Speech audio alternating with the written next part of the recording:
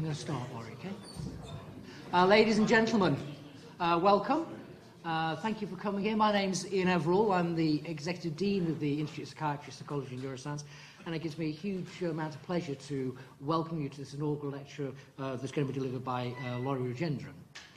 And um, Laurie is the, as you know, the Van Geest Professor of Neurodegeneration and also the Deputy Di Director of the UK DRI, that's the Dementia Research Initiative, here at the Institute.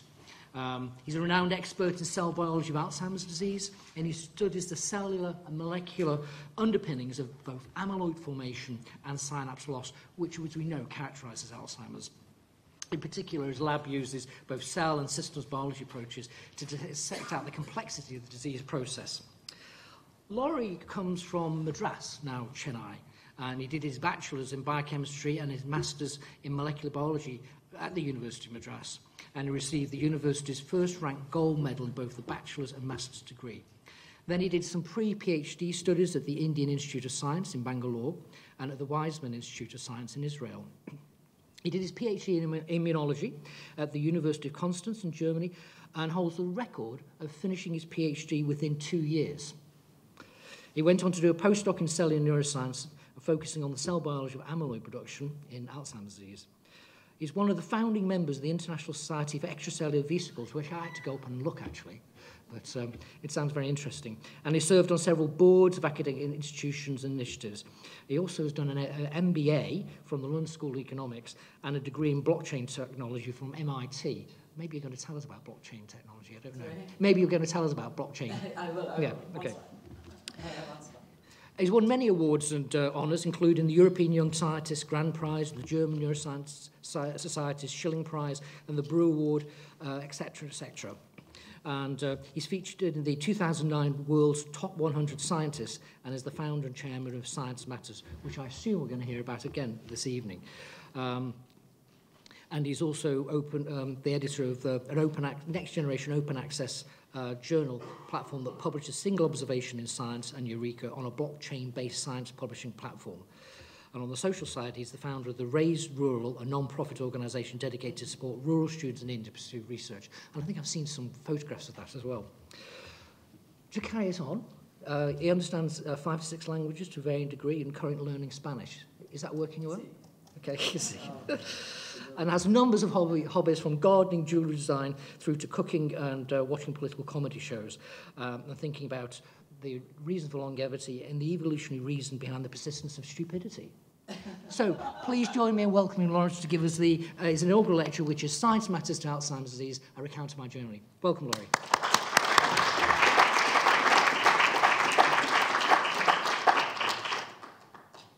Thank you very much. This is amazing. This is, um, I'm excited to be here. I'm, I'm delighted to be here. Here, I mean, not just in this thing, uh, in, in this auditorium, but really in, at the King's College. You will see again, almost towards the end, why I chose to come here. Um, and um, I'm going to start by saying science matters. It could be one word, which is the journal, but science also matters to Alzheimer's disease. And I'm going to start by saying, um, yeah, there you go. I'm going to ask, can I ask you questions? Or is it just me? Yeah, I can. Great. Uh, how many of you want to publish in Cell Science Nature? How many of you want to cure diseases? How many of you actually think there is absolutely no connection between two questions? Right. So I, I want to I want to highlight. Oh, sorry. Do I have to switch on? Switch. Oh yeah. Great. I will do this. Great. Yeah. I'm not going to repeat those questions again. Uh, uh, so I, am going to emphasize that there is this absolute disconnect between the preclinical research and the translational, uh, the actual thing that you know cures Alzheimer's disease patients. There is this disconnect, and I want to understand why. And and and I've thought quite I've thought quite a bit about this, and I think there are, from my opinion, there are two reasons for this. Right, uh, we keep seeing almost every week in Guardian to New York Times to BBC that we have cured Alzheimer's disease in mice. Uh, we have cured Alzheimer's disease in cells, and uh, it goes all the way from you either transfuse blood from, from a young person to the old person, or you use antibodies, Or even pot smoking, for example, is fantastic for Alzheimer's disease. And you want to keep seeing these uh, Alzheimer's research as a breakthrough with cannabis treatment. But however, when you look at the actual data when it comes to patients, you see that Alzheimer's disease is, is pretty much what, oh yeah, I got to do this, yeah. You see, it's 89% in, in, in, uh, in, in, patients where you see that we haven't managed to cure even a single person of Alzheimer's disease, whereas we have made enormous progress uh, in, in other diseases, right, including HIV. And, and that is interesting. And, and, and the question is, why do we uh, why do we keep curing Alzheimer's disease in these models and, and, and, and the lab? However, why do we not reach any form of uh, advancement when it comes to actual treatment and therapy in Alzheimer's disease? And, uh, and, and, and so this is the question that I pose, and I, I, I'm going to argue that there are two reasons, fundamental reasons, at least from my side. It could be it's not a fundamental truth, but from when I think about it, I think there are two reasons for this. One is irreproducibility in the preclinical research uh, that we do. And the second thing is the complexity of the disease that, uh, that uh, in itself. Right, and, uh, and, and when it comes to irreproducibility, I'm going to I'm gonna ask you one more question. I'll ask many questions to you. I'm a professor anyways. So uh, how many of you have heard this joke on capitalism? Have you? How many? Yeah. So uh, that's the traditional definition of capitalism. You have, um, you have two cows, uh, you sell one and buy a bull, you herd multiplies, and the economy grows, you sell them and retire on income, right? This is the French form of capitalism is this. You have two cows, you go on strike, organize a riot, put on a yellow vest, and block the roads because you want three cows. And uh, this is the Swiss corporation. You have 5,000 cows. None of them belong to you, but you charge them, uh, charge the owners for storing them.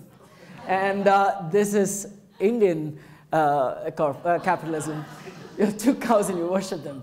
But let me introduce you to another insane capitalism, which I call it like the mad Cowdistan uh, capitalism, which is science publishing, right? Which is, uh, uh, which is this insanely capitalist market which has around 25,000, uh, 25 billion dollar per year turnover.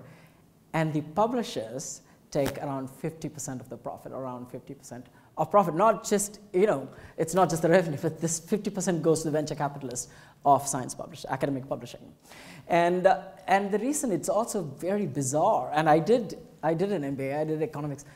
Uh, when I presented this as a paper, people just got blown away that uh, academics would pay that much money to a single entity. And, and, and it, it's, as we all know, you know, we use either charitable organization funding or the funding from the public organization, public uh, taxpayers' money. And then we use that and then we use our brains to write a proposal or, or, or uh, experiment on our hypothesis and you know, we write a paper, we make sure that the comma is in the right place and the references are formatted for that particular journal. If it's not, it goes back and forth. And then ultimately we go, it goes to the peer review and as you know, peer review is one of the worst forms of, uh, like most troublesome forms of um, of, of quality control. And then when the paper finally get, gets accepted, we don't question that the publishers, um, you know, uh, they, they didn't put any, any form of money or investment into the project, but this long loop of uh, uh, peer reviewing process took not only time, but they also didn't pay even a single penny to the people who actually did work in terms of quality control. Uh, but at the at, at, the end of it, when, when we get a, an email saying your paper is accepted, we are insanely happy. we open champagne bottles, uh, but we forget to notice that they ask for 2,000 to $5,000 for a single paper. And uh, it doesn't stop there, the capitalism. Actually, it goes on. When you publish, you give not only your best scientific work, but we also give $5,000 or $2,000 on top of it. And when we want to read that paper, when we want to access our colleagues from, from, uh, um, from this, this next lab want to read it, my university, our university pays millions of dollars just to get access to, to, to, to read, right? And that's what we call is this double to triple dipping that happens in this publishing market. And, and we, on the other hand, we never question these things. We are very happy opening champagne bottles uh, when our paper gets published. We don't ask what is the breakdown of the $5,000 for an open access journal which doesn't even have a printed edition right? There is no copy. And they don't pay the peer reviewers. And, so, and, and, and I think this is something we have to ask. I want to also tell you that, that uh, even articles that are published in 1800, uh, uh, these are, again, uh, they are behind paywalls, and you would have to pay uh, money to access knowledge. And I think that is something interestingly uh, challenging to even accept that knowledge can be behind paywall. And I grew, I will tell you a little bit, I grew up in a slum in India, in Madras, and if there was money associated with it, if the education was not free in India, I wouldn't be standing here in front of you today.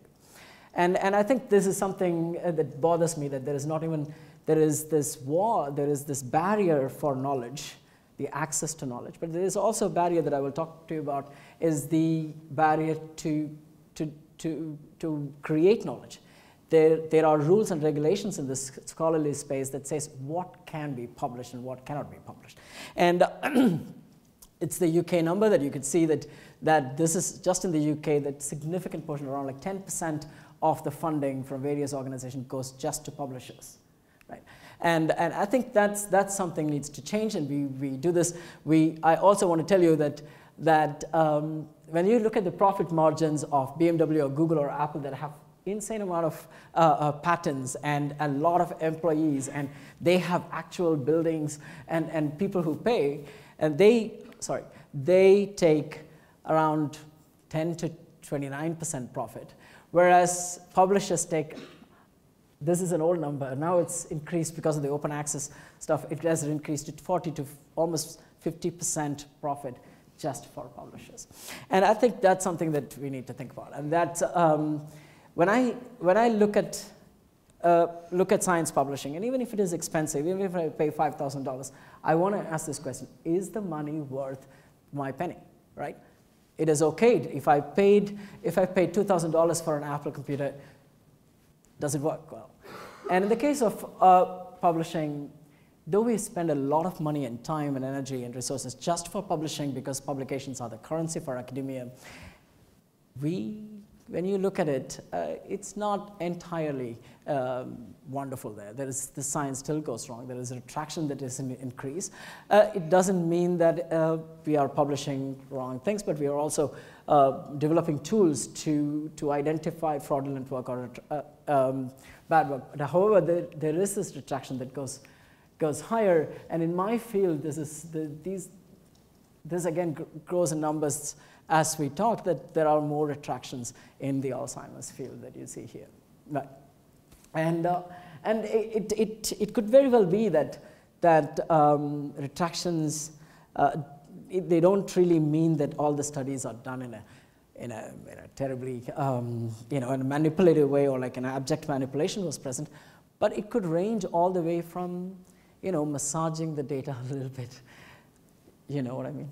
Uh, removing the pot spoiler, removing negative data that contradicts to the hypothesis, even if it is a tiny, tiny figure of it, we remove them. We, we, this is the uh, pruning of the data that I call, or massaging or manipulating, all the way to actual uh, fabrication of data.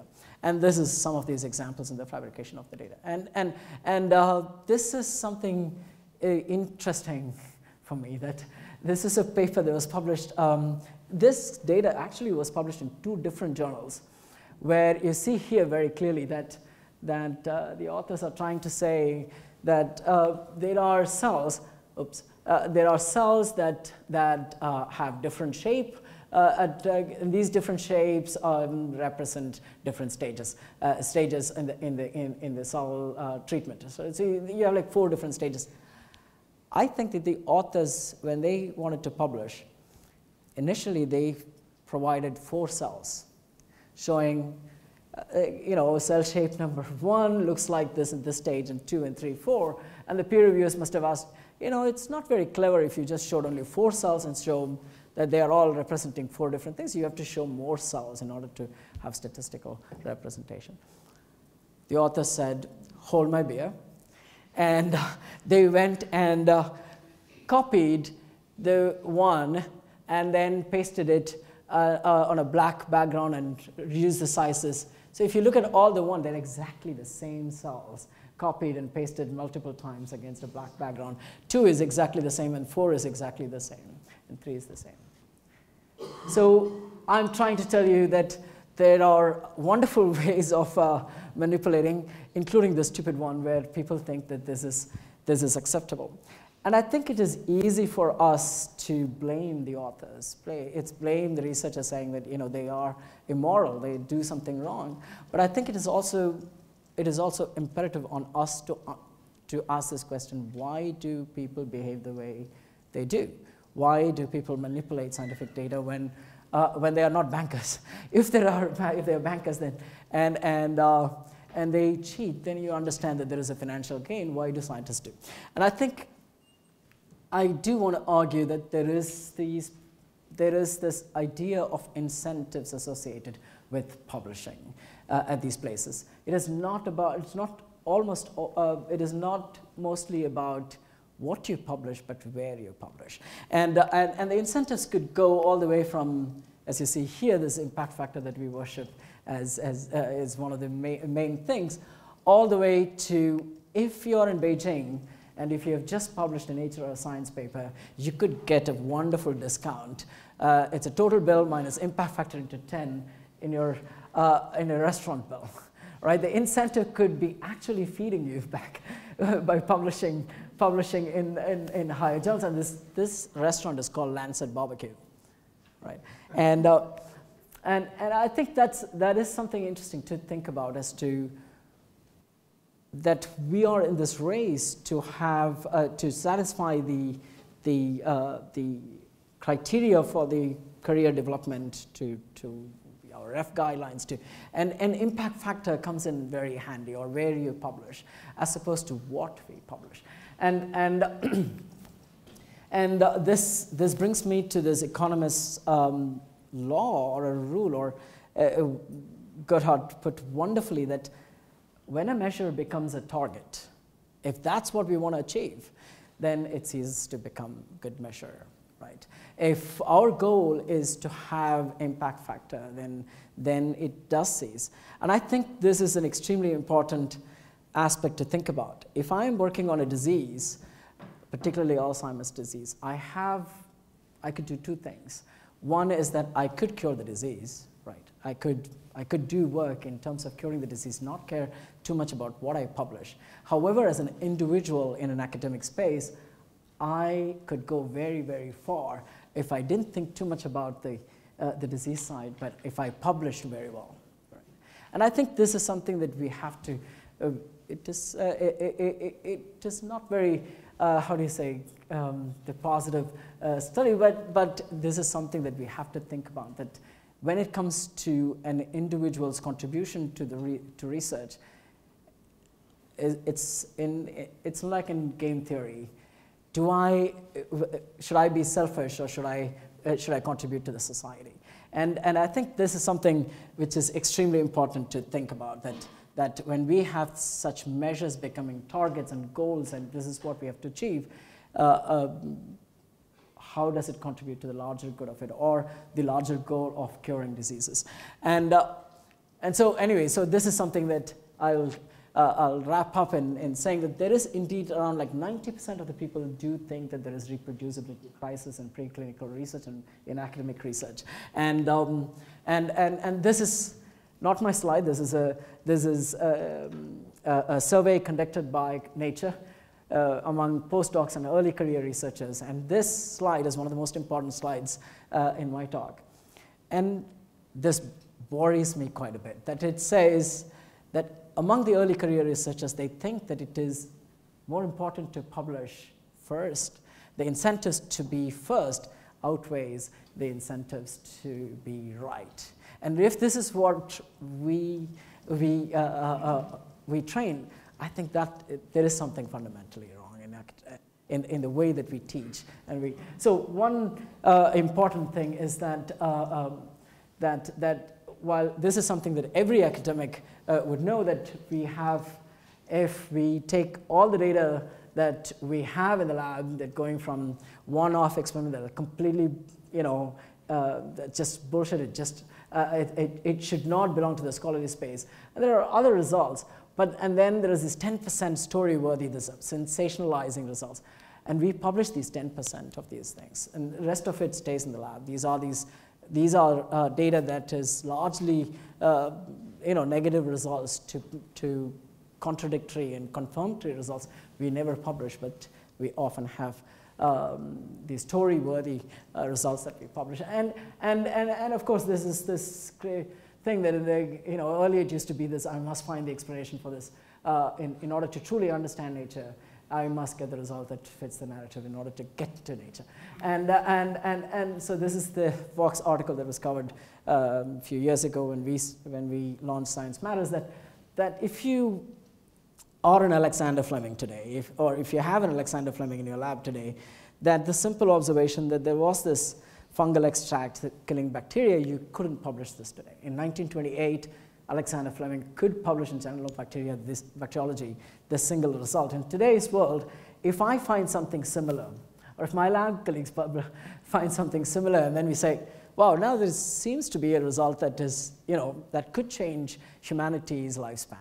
And um, if I went and submitted that particular result, what Alexander Fleming did, one of the main peer review questions is, what is the mechanism uh, uh, behind this thing? And uh, what is that compound, for, for example? Or, or if you aim something higher, like science or, nature, uh, or, or you know, nature medicine, you would have to cure half the population of Africa today in order to, in order to have a figure five in that paper, in order to get it published. And I think this, this something worries me, that there is a desire to tell stories from the scientist side, but also there is a demand from the publisher side to tell these stories. And I think when it comes to stories, we often do prune and massage the storyline and the narrative in order to have uh, it as a story. And as a result, we might include things that do not really belong to the narrative, but we also would remove things that, that we think that doesn't belong to it. And, uh, and, uh, and in this case, both the desire from the uh, scientist side and the demand side, it, one of the things it also does is that it also makes science closed for a long time, right? Not only did the publishers put a paywall and say that this science is closed until you pay money to access, I think we also, researchers also participate in this, in this uh, um, close, uh, closeness of science by keeping the data as close as possible until a storyline is, is ready, and only then we publish. And, I, and, and so, um, so I started Science Matters uh, because science should matter, I think, for publishing, and uh, to, to say that we could publish these single observa or observations and not necessarily single data. It doesn't mean single data, but it, this is like a figure one of a paper, for example, that, that it, tells, it tells a phenomena. There is an observation and, and without a story line in a way, that you don't tell the full story uh, right from the start, but you say what, is, what you're comfortable with. And, and there is no need for a story, so there is no need to make up a story. And uh, so I mean, when I started and then I was invited to many uh, institutions to talk about it and also at the European Commission, people say, oh, wow, this is a, this is a cool idea. Uh, how did you come up with this idea? Uh, I have to say, this idea is not, I mean, I, I did think that it was my, you know, original novel idea, but in the 19, uh, in 1665, Robert Hooke, the father of modern cell biology, said this, the truth is, the science of nature has already been too long made only a work of the brain and the fancy. It is now high time, in 1665, it's now high time that it should return to the plainness and soundness of observations on material and obvious things, 1665. And I want to just change one thing. If you changed here, the, sci- uh, the off to or, the truth is the science or nature has been already too long made only a work of the brain and the fancy. It is now high time to return to the plainness and uh, simple uh, soundness of observations. Clearly putting this emphasis not on the story, but on science itself. And science for me is more related to data as opposed to the story that we, we often say. Uh, and, and, and so once, so we created this platform where you could just um, uh, put these observations and, and, then you extend these observations. And once it's done, it's a bit like Lego. Others could also incorporate their observations onto these, this network. As a result, all observations, not only positive, but also negative and the confirmatory and the contradictory, all of these observations are put together in a collaborative way and we tell a story together in time, right? And in this way, the story doesn't look beautiful, it doesn't look very pruned and, and made up, but it is the natural emergence of the narrative that actually tells the whole truth and not just the positive side of the truth. Right, there is a 360 degree view of science that we could have, but today, in, in today's world, we are often forced to tell only the positive side and only the positive side of, of this of the. So uh, and and so this is science matters. Uh, and uh, how do we how can we use blockchain on it? Right, blockchain is essentially a new form of internet that is more distributed than how it is today. in simple terms, if I have to explain that, I just have to borrow an example from uh, the, the financial institution. In fintech, blockchain is a big thing, and blockchain is primarily uh, invented in a way, uh, described to be utilized in the financial institutions. Where if I were to transfer, let's say, $100 to in, 100 pounds to in, no, in the UK, uh, uh, then I would have to go to a financial intermediary, like a bank, for example, that acts as a middleman to facilitate the transaction. That's what we do, right? Or, and, in, uh, and in this case, there is this middleman who, who facilitates the transaction, who validates the transaction. Yes, Laurie did give this money to Ian and he received it. But now we could also do the other way. We could say I could already transfer directly a peer-to-peer -peer transaction of money if not just one institution, but imagine thousand people look at the transaction and say, yes, he did send and he did receive. Right? You understand? If the data is distributed and if it is validated by thousand people or millions of people around the world, um, and that is enabled by blockchain by giving a tiny, tiny, tiny percentage in terms of cryptocurrency.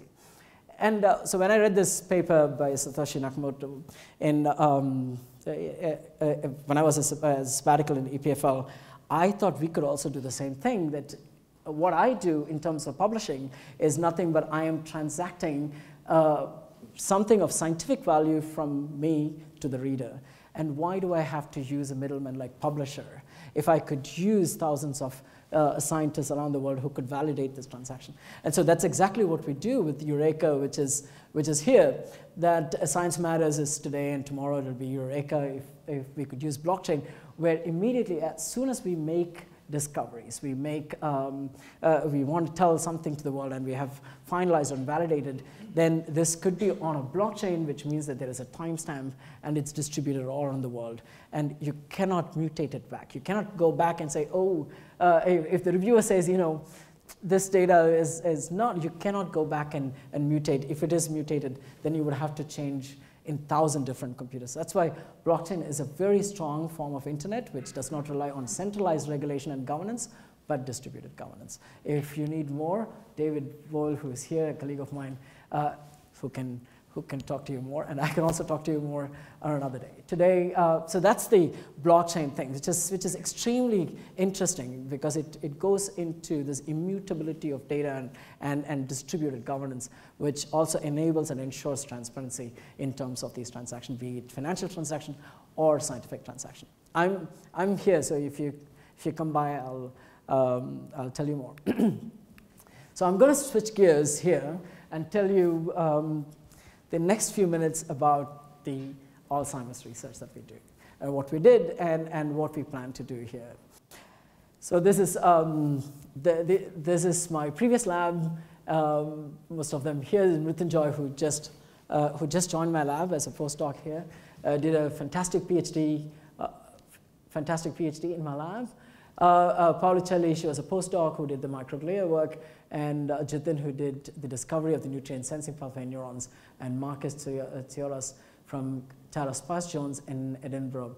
He did uh, the actual um, Uh, he did most of the immunohistochemistry in the Alzheimer's disease patient brains that you would see. And this is my um, lab here. This is in at the K1 and 28 at the Maurice Wohl building. Uh, this is my first lab meeting. Was it a first lab meeting? Yes. Uh, and uh, and uh, this is Shiden, my PhD student. This is Ivo, also a PhD student, Jackie, who's, uh, who we hope that she joins me as a, le lecturer, and, um, and Carla, who's my, um, my assistant in, in the lab. They do wonderful work in terms of setting up the lab, and we have made some inroads into, into, uh, into the actual science that we do at King's. Uh, let me quickly tell you what we are interested in the science part of it, right? that was science matters, and I do think science matters much, much more to Alzheimer's disease than publishing. Uh, and, uh, and I want to take this opportunity to really, really emphasize that, that often it goes very far away from what we actually want to do. Uh, in the case of Alzheimer's disease, as you know, this is a neurodegenerative disease that occurs in, in, in an age-dependent fashion where proteins misfold and aggregate in, in the brain, and as a result, or as a consequence, there seems to be uh, memory loss and cognitive dysfunction.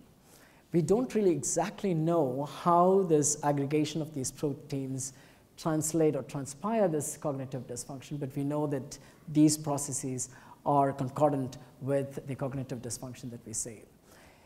Um, very often that it's told and, and it is emphasized that the, a peptide called the amyloid beta peptide, which is around 37, anywhere between 37 to 43 amino acid long, that can be, um, that uh, um, this, this peptide gets aggregated in these block-like structures that you see here. And, and, and there is also the other protein called the tau protein, which normally stabilizes microtubules. This also falls apart and then aggregates in the, in the neurons in, uh, in Alzheimer's disease patient brains. And we think that people think that the, uh, these amyloid aggregation is causatively linked, though we don't really exactly know for sure if this is the case. When Alzheimer's described the disease, not only he did the, uh, he described these two protein, uh, the peptide and the protein aggregation, but when you look at his original monographs or these, these, these uh, uh diagrams, you start to see that there are uh, he already described at the time in 1906 that there are these microglia structures, microglia cells that seem to be largely phagocytic. There seems to be more phagocytic structures associated with microglia, and there is also enlarged endosomal or lysosomal uh, structures that he saw at the time. And, and, and so we are very fascinated in my lab to understand what exactly the cell, cell biological mechanisms underlying these phenotypes and to see if that can be translated in terms of A, understanding the disease uh, uh, for early diagnostic, can we design early diagnostic basis based on such uh, phenotypes, and B, can we come up with a cure or prevention regimen? And you'll see um, here. So uh, I'm going to just quickly run down to say that there are several uh, um, studies that we, we, have conducted and we've published. And what we've shown here is that there is, uh, we looked at the production side of the peptide, how the peptide is getting produced and how that can be translated. And also I'll tell you that we have discovered new mechanisms that are associated with the clearance and, and, and, and clearance of A beta and the synapse loss in Alzheimer's disease. So one of the main questions that we ask, the, the, almost the main uh, focus is really how does this amyloid aggregation, these protein aggregations occur in the late onset form of Alzheimer's disease? It is the form of Alzheimer's disease that occurs in around 95% of the population or 98% of the population which do not contain mutations, right? Uh, in the absence of mutations that occurs in, in uh, the mutation form of Alzheimer's disease called the familial Alzheimer's disease occurs only in 2% of the population that, uh, that can explain how we get more of this A beta peptide. But in the 98% of the Alzheimer's patient cases, there are no mutations. There are no autosomal dominant mutations that are associated with the production of the peptide. And so we ask this question, how did these patients, in the absence of mutations, still manage to get this plaque-like structure or these uh, um, aggregation of these proteins. And, and, and, and so we started by looking at cells um, where, where we did a lot of live cell imaging and, and combined with live cell and FRET and looked at how the production pathway occurs. And we found that in, uh, in, uh, when you look at the internalization pathway, it is not that uh, as the proteins are produced in the biosynthetic pathway, it's actually the opposite side. When the proteins, the, the substrate APP and the enzyme beta secretase or base 1, when they actually travel, re-internalize from the plasma membrane inside the cell, uh, as you can see, sorry, as you can see here that on the cell surface, there is hardly any co-localization between these two proteins. This is the substrate and the enzyme that APP is the substrate and the base is the enzyme. And on the surface, we didn't see any co-localization, nor on the way to the surface from ER and Golgi. However, when you cross-link them and make them internalize, then you start, this, start to see this fantastic co-localization in, inside these endosomal structures. And, and um, that was the start of my career where uh, when, when I started my postdoc, I, um, I started by looking at small lipid assemblies in, in the cell surface. And for a year, I only worked on quantifying this. And when the project didn't go, uh, it didn't go very well, actually. So I was just using, uh, I, I didn't, you, I was not studying Alzheimer's disease. I was studying these lipid assemblies on the cell surface. And uh, in one of the seminars, I, uh, there, wasn't a, there was a guy who, who uh, talked about Alzheimer's disease and uh, talked all, all about A beta. And I asked a question as to, it's all great, but where is this A beta getting produced? You know, where, and, and when he said that they didn't know at the time, I went to my boss and said, I want to work on this project. And this was one of the first results where we could show that uh, uh, indeed in the endosomal structures, in the endocytic pathway, that's where the A beta peptide gets, gets produced. And it was also interesting because, um, because we know that the enzyme that you see here, that this is the APP molecule, this is the substrate, as I told you before, and beta secretase is an enzyme, it's also a type 1 transmembrane protein, and it cleaves here to release uh, uh, an ectodomain and, uh, and the membrane bound form, which gets cleaved by the second enzyme to release this A beta peptide, which then misfolds and forms these blocks. and, and when we found that it is indeed in the endosomal pathway, in the early endosomes, that, um, that the beta secretase cleavage occurs, it explained a lot of things, including the fact that the beta secretase is, is an aspartic enzyme, which requires a lower pH. What it also explained is that um, most of the drugs that were in silico um, synthesized, the inhibitors that would inhibit the beta secretase, they were in silico designed, and when they were uh, tested in in vitro, almost every, almost every inhibitor worked in the in vitro conditions. However, when we translated it, when we put them into the cells, 99% of these inhibitors fail to inhibit beta secretase in a cellular context. And so we reasoned because, our, because of a study that showed indeed in the beta secretase is not active on the cell surface, but it cleaves the uh, APP protein only in the endosomal compartment, we reasoned that perhaps we need to take these inhibitor also into the endosomal compartment as the membrane, uh, uh, membrane associated form of beta secretase is inactive. And so we designed an inhibitor that, that would go all the way from from the cell surface by taking an inhibitor that was designed by Merck, which was cell impermeable. It, it, it inhibited beta secretase in vitro in in vitro. However, it failed to reduce in, in the cells. We took exactly the same inhibitor, but now uh, attached it to a cholesterol molecule, right? So attaching it to lipid made sure that the inhibitor uh, is now, um, it, it, it um, it localized to the membrane and then it got internalized into these endosomal compartment. Pretty much the same, uh, it used the same trafficking pathway like the enzyme.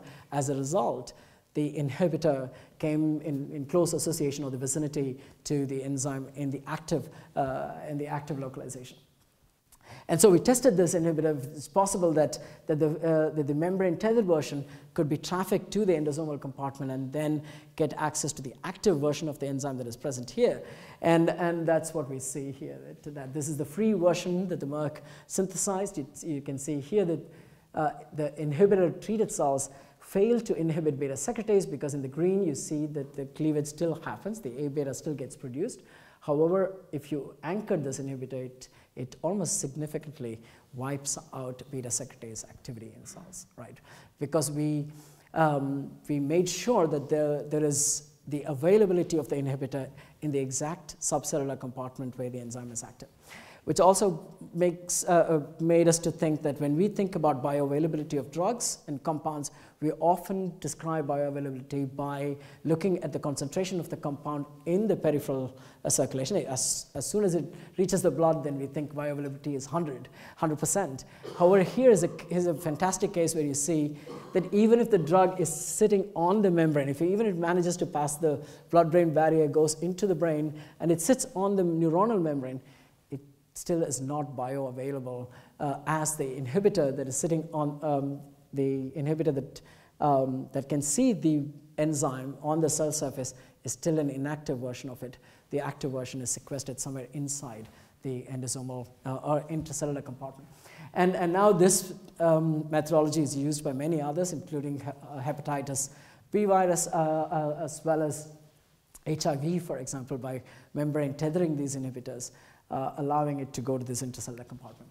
And, and so this is, this is what we did. And, and, and uh, in this context, we also co-crystallized um, beta secretase and uh, did crystallography in terms of looking at how the beta secretase uh, binds to these inhibitors, but at the same time also co-crystallized uh, beta secretase with different physiological substrates and looked at what distinguishes between the cleavage uh, uh cleavage chemistry between the enzyme and, and the amyloid substrate like APP or um, the enzyme and the physiological substrate, the non-amyloid substrates of, of beta secretase, including neuregulin, for example. And we found that there are interesting differences between these two, and that endosomal localization only permitted the cleavage of APP, but not the other substrate. So targeting endosomal beta secretase helped not only having this effective inhibition of APP, but also prevented the enzyme, uh, enzyme cleavage of um, uh, the, uh, prevented the inhibition of the enzymatic cleavage of the physiological substrate. So the physiological substrate cleavage still went on, but it specifically inhibited the APP cleavage, which I think it's extremely important as it also reduces the side effects that one sees. So we went on to, so once we identified that, that this is in the endosomal localization that cleavage occurs, uh, we could also make an inhibitor that would go uh, specifically to this compartment. And we also looked at how is this peptide that is generated in the luminal side of the endosomal compartment, how does it get out in order to form these amyloid plaques and, and discovered a new pathway. At that time it was new, it was in 2004 we discovered that it is the exosomal route where, the, uh, where we showed that the uh, limiting membrane of this endosomal compartment can, can invaginate and form these, these tiny vesicles inside these endosomal compartment. And once this endosomal, uh, uh, these limiting membrane can fuse with the plasma membrane, it can release these vesicles out as these exosomal compartment, which now is known to, to, to, to be important for uh, bringing out my, uh, microRNAs and mRNAs, and also in a non-hormonal, non in a new kind of endocrine mechanism that involves vesicular, um, vesicular.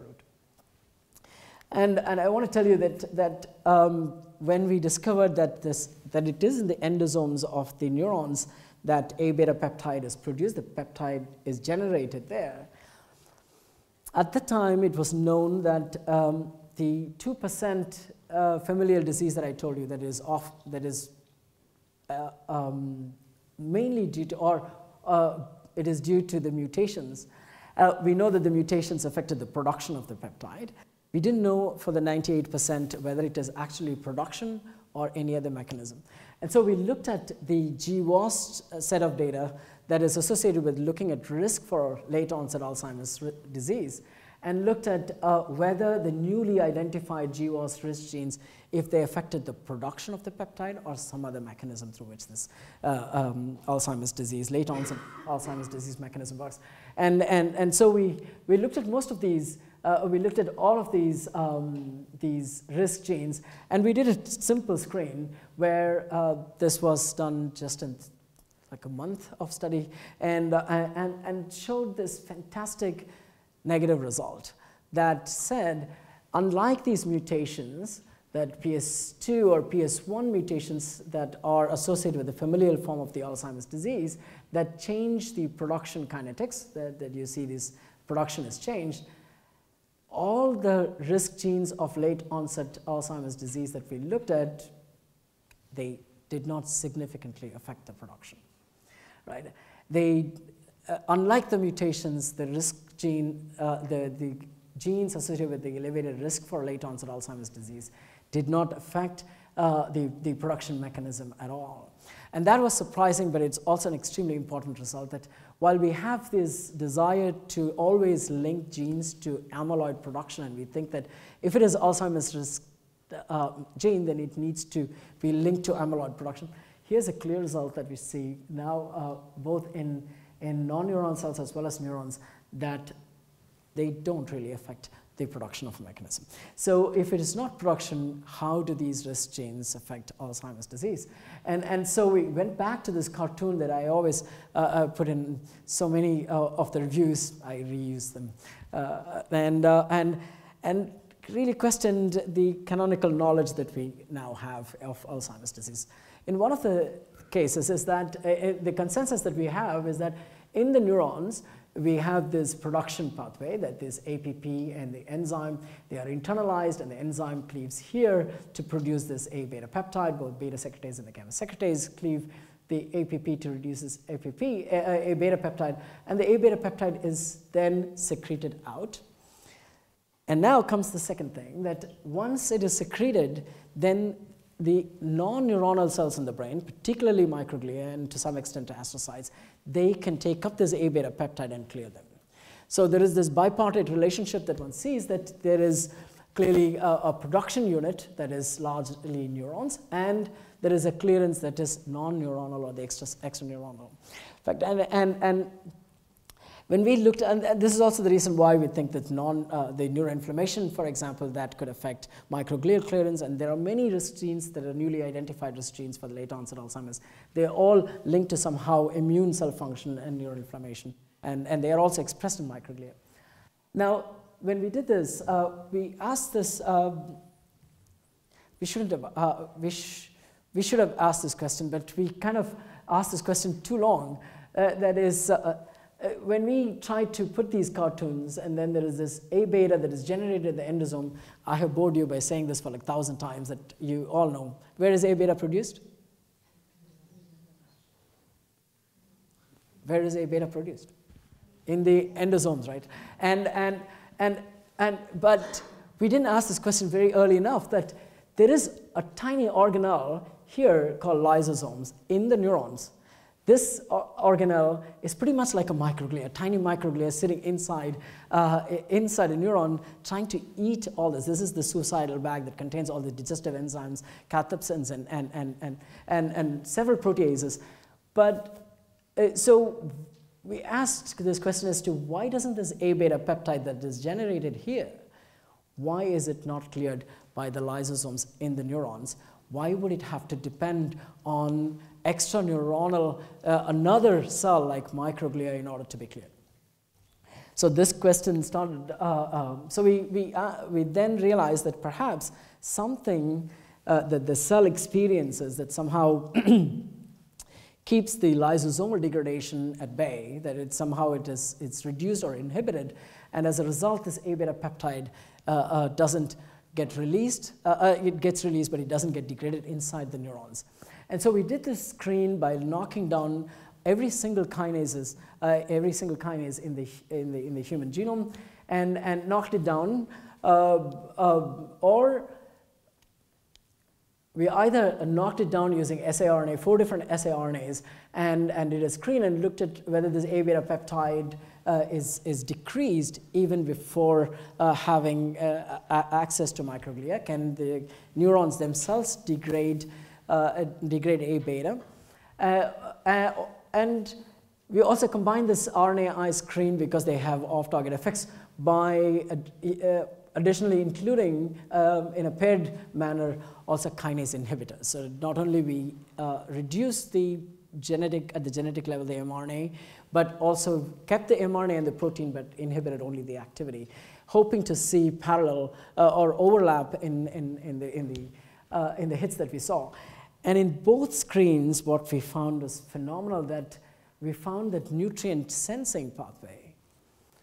Um, when this is the pathway that is located on the lysosomal membrane that you see here, that if the if the cells experience or if the cells have enough of amino acid and insulin, then it transcriptionally blocked the production of lysosomes, the new synthesis of lysosomes. Uh, I don't have the time to go through in detail, but you're very welcome to come to my lab or office at any time. Uh, you will see the entire path, so we delineated the entire pathway showing for the first time that indeed amino acids, if they are present, if the cells can sense amino acid and cholesterol, then it transcriptionally blocked the biogenesis of lysosomes as a result. And it kind of makes sense because if you already give amino acid from outside, the cell says, why should I put up a lysosome and, and, and have all these proteolytic enzymes to cleave proteins in order to make amino acid when I get amino acid from outside anyways? And it's like, you know, if my father gives enough money, why should I recycle my, my genes in eBay to get money? Right? And, and, and, and uh, so when, when we manipulated different, um, different experimental conditions, we could clearly show that when you reduce amino acid or you starve or, or you inhibit this signaling pathway, then we saw this increased lysosomal biogenesis. And as a result, when there is enough lysosomes in the neurons, it started to sort this A beta peptide from the endosome already to lysosome. So we didn't see much of A beta coming out. So there is, it, is, uh, uh, it gets degraded. So this is the pathway that we, we put together. And, and, and so uh, the, the idea is that if you, uh, if you had this starvation, this uh, should help, so, right? Like if fasting should help.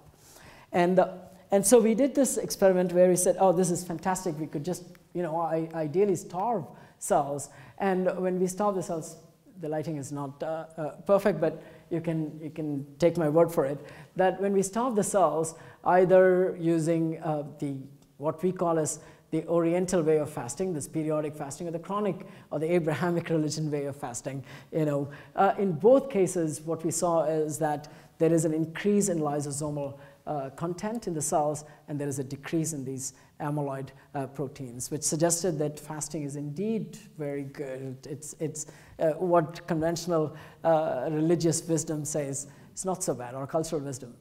And, and so this is all in cells because we were trying to identify the intraneuronal clearance pathway, and it worked out pretty good.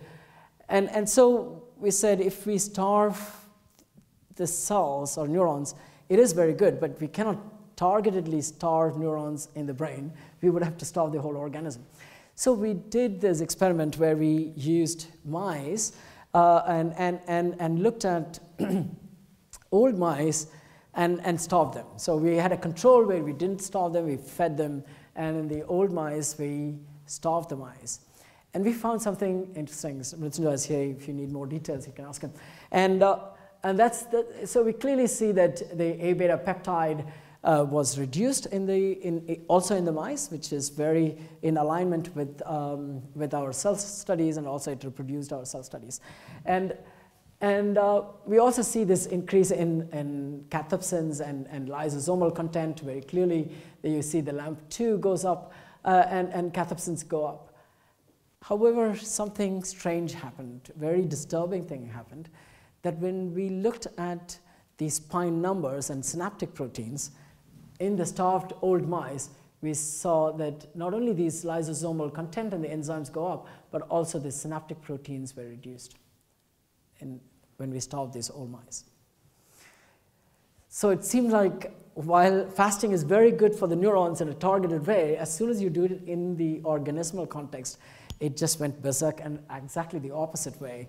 That uh, while it was very beneficial for a beta peptide, it was detrimental for cognitive function or synaptic uh, uh, content.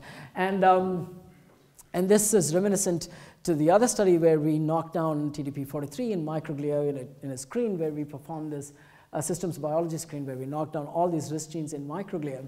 And we identified the TDP43 when it was knocked down. It also reduced A beta peptide very clearly, so it, because there was a, uh, the microglia cleared A beta peptide and the content was low. Uh, but when we looked at the synaptic structures, then in the conditional knockout, you can clearly see the PSD95, the content is reduced and, and, and, and synaptic structures were reduced here. This is VGLUT1. And when we looked at the mechanism as to why these microglia, when they were starving, uh, when, when you manipulate nutrient sensing, it turned out that microglia, when they starve, they started to eat almost everything indiscriminately. So far, we can see that on one hand, they would clear A beta peptide, which should be beneficial, but on the other hand, they also ate synaptic structures, which is definitely not what we want. And, and, and so you clearly see here.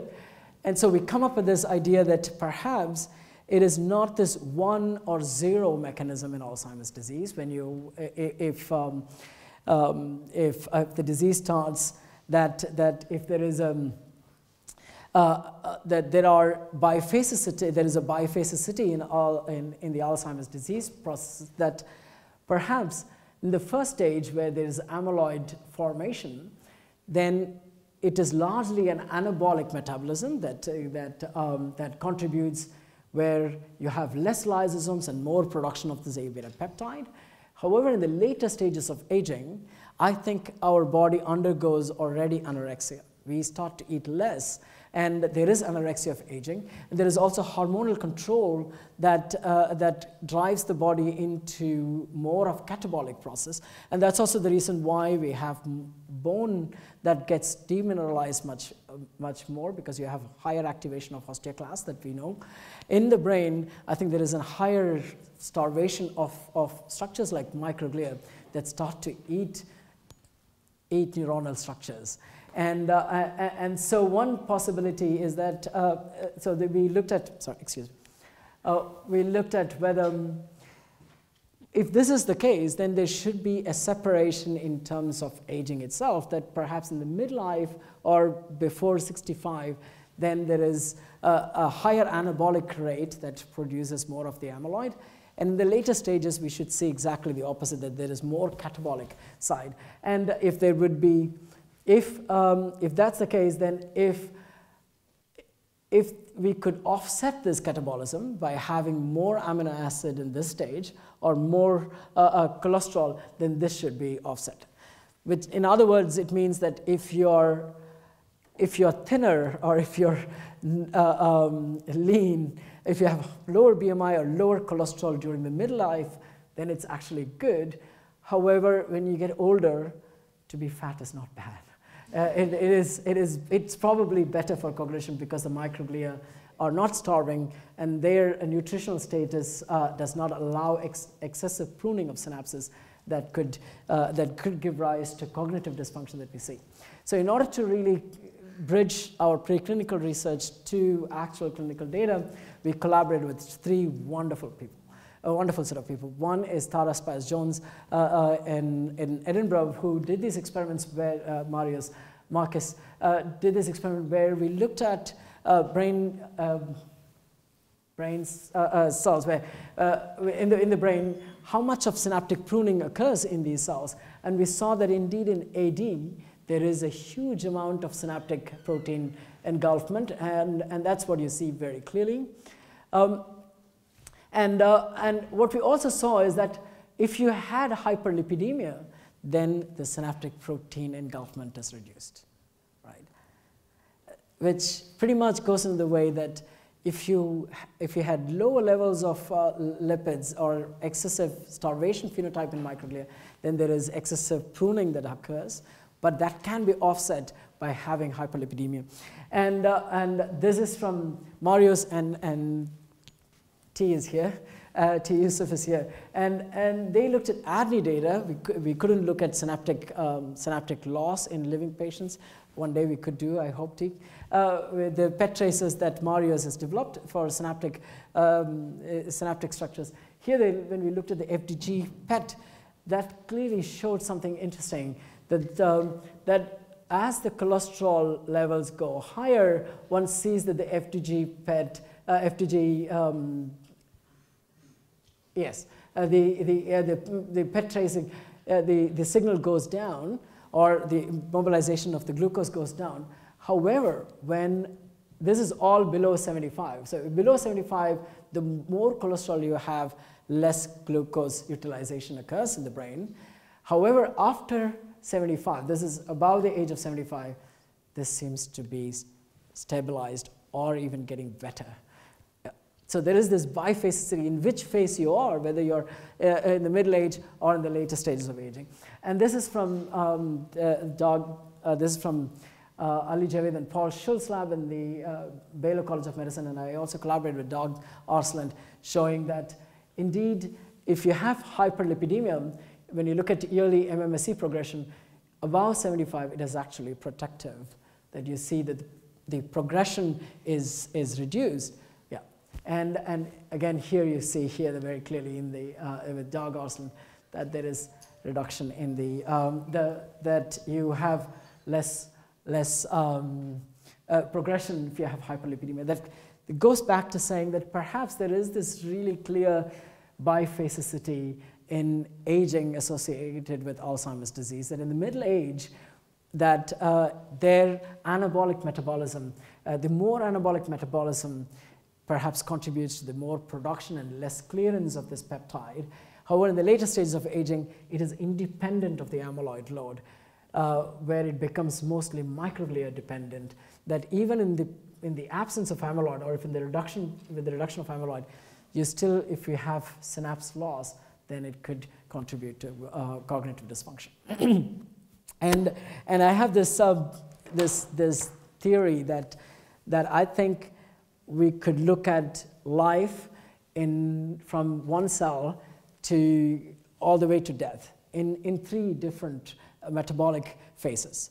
The first phase, I call it the Brahma phase, which is if you're a Hindu or if you know about Hinduism, uh, Indian philosophy, Brahma stage is, Brahma is what the, the god of creation, which is what I call, which is largely anabolic dominant, where it goes from one cell all the way to uh, a reproductively fit around like 15 to 18, uh, all the infrastructure that goes all the way to building this infrastructure. And then from 18 to 65 or 70, we live in this, what I call as Vishnu period, which is the uh, steady state or equilibrium period where we have to balance the anabolic metabolism with the catabolic metabolism, which the exercise to, to, uh, to fasting, to all these mechanisms that make, make us balance to keep that pretty much in the, in, this, in the equilibrium state, and the later stages of it. I think we have mechanisms that actually want to make us go. And, and that would be largely catabolic, uh, catabolic, uh, catabolism dominant, and we know that in the later stage of aging, you have higher autophagy and higher lysosomal biogenesis. We have things eating our own blood, uh, uh, bone and muscles, and now we can also demonstrate that pretty similar catabolic processes are involved in synaptic loss, which could give rise to the, the um, cognitive, uh, uh, cognitive dysfunction. And so one could now think about how do we offset that catabolic uh, process? Can we feed the elderly and, and fast the middle age? In, in that way, could we extend even life? Uh, or could we even extend synaptic, uh, um, synaptic stability? So I think I am pretty much close to the end of it. So that's, that's uh, the, the, this is what we want to do in, in, in um, at the King's is really by using iPS-derived neuron microglia co-culture uh, that Shiden, who is here, she's uh, from Eritrea, is, uh, and, and, and Ivo uh, from the UK, now we'll work together in terms of look, can we make patient-derived mini brains or like going towards this mini brains to look at this bipartite relationship between neuronal amyloid clearance and microglial mediated synapse loss, and also look at, look at if it is possible to make lysosomal tracers uh, to stage and to understand the disease way earlier than amyloid production. We think that this could be the earliest marker for, for the disease progression, be it Alzheimer's or uh, even in ALS and FTD. So my lab is trying to uh, design a uh, lysosomal tracer, a PET tracer for lysosomal function. And ideally, we would like to offset this catabolic uh, process by, uh, by manipulating this nutrient sensing pathway that exists so that synapse can be stabilized. so, th thank you, Laurie. Um, it, it's usual to say at this point, I apologize for standing between you and drinks, but actually I don't. Um, and I'm not going to apologize at all. It, it's absolutely an, an honor and a privilege to follow that. Um, and your, your, the contribution started with reflecting on some of the risks about creating stories and not telling the truth. And you end up with uh, you know, a really extraordinary personal account and a very truthful and moving account. Uh, and, I, and, I, think it just does reinforce the importance of knowing what the story should be uh, and, and, telling it in, in, a heartfelt and truthful way. So, so thank you very much for that, Laurie. It, it's also an opportunity to say something that uh, I hope we've said several times before, which is welcome to King's. Um, and we, we don't do sufficient inaugural lectures. I think there are many of us who are professors, me included, who've, who've never stood up and given an inaugural lecture. I, we, we are changing that, exactly. So I really want this to become part of the culture, that we take the opportunity on a regular basis as, as new professors are appointed to gather together as a community and hear that person's story. Uh, and the small number of inaugural lectures I've been to have often been a combination of the personal journey and the scientific journey. Um, and, and it's a unique opportunity to, to hear that. So I think we should do that much more often. Um, it's, it's also an opportunity for us to reflect on what a long journey it's been to get to a position where King's is absolutely a world leading centre in neurodegeneration and dementia research, where we can attract and recruit and retain some of the best scientists from around the world. It, it was not a short journey. Um, Chris Shaw, unfortunately, can't be here, and, and I know he sent apologies to you, but, but he's away at a, at a, at a DRI event today. Uh, but some of you may know, some of you may not know, that the Maurice Wohl Clinical Neurosciences Institute was probably conceived about 17 or 18 years ago uh, through a conversation between Alan McGregor, who was the campus dean of KCL at the time, and Malcolm Lowe-Lauri, who actually was the chief executive of King's College Hospital. Uh, and they hatched the original idea and drew Chris in very early on as the person who would lead and drive and, and make it happen. Uh, and, you know, 17 years later, we're now in the building. We've had an amazing gift from the Van Geest Foundation, which, which funds your position.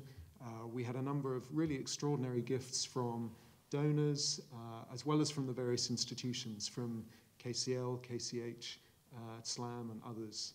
Um, and we're now in an amazing facility with uh, labs that are superbly equipped and great people. Um, so the future looks exciting, and we're absolutely delighted to have you with us, Laurie. Uh, and you know, we are your friends and colleagues and family, and I, and I hope we won't be strangers, all of us, for, oh, for, I, I like for, too much longer. but, but there will be new people coming along all of the time, and, and we look forward to, to more inaugurals. But we, we won't forget yours, Laurie. So, so thank you very much, and welcome.